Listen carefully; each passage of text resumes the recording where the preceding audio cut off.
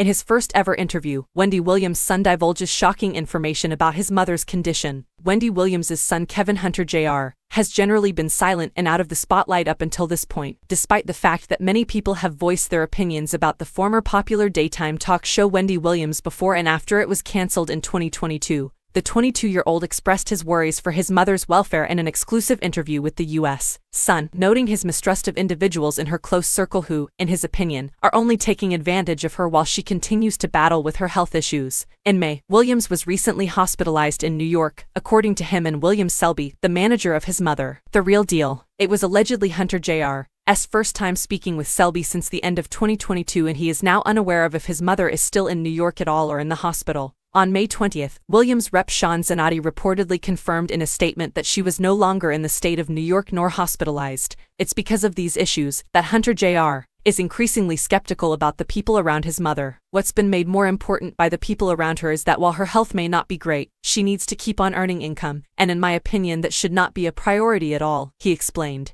And whoever has been hired, they are taking advantage of someone who needs to get better. He later added, I know there are all sorts of things happening that I know in her right mind she would never agree to. As hard as it is seeing her being taken advantage of, I know that if I'm making sure she, as a person, is okay, that is the important thing. Because eventually, she's going to realize the craziness that's been going on. Of his mother's alcoholism, Hunter Jr. also shared, I know the rate that she uses alcohol isn't like a normal person and we've spoken about it. I've said this is one thing where you don't know how to approach it normally, and that's fine. And it's gotten to a point where yes, it could have that effect that it might be fatal because it affects her way worse than a normal person since it stays in her system. Here are a lot of people who are very aware that there is an issue with her drinking and how that issue may be helped. But I think these people are taking advantage of it while allowing it to play out to make it look like they aren't causing the issue. What's also interesting to note is that Hunter Jr. shed light on an alleged forthcoming unscripted project that Selby and his mother have reportedly been filming for months that detail exactly what Williams has been up to lately. When asked if he wanted to play a part in it, however, the young adult declined.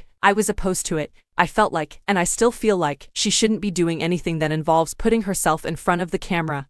He explained. It goes back to putting working first, and herself second. The production then came back to me, not will directly, and I just replied, no. To appear in the unscripted project with executive producer credit, they offered to offer me $25,000. And I made the decision not to because I simply believe that however this happened, she shouldn't have accepted to a contract for a project that wouldn't present her in a favorable way. I think it's best for her to have to prioritize her health first, he continued later. She won't hear it from those around her, but she is not required to be working. She needs to stop trying to further her profession and simply be happy with where she is.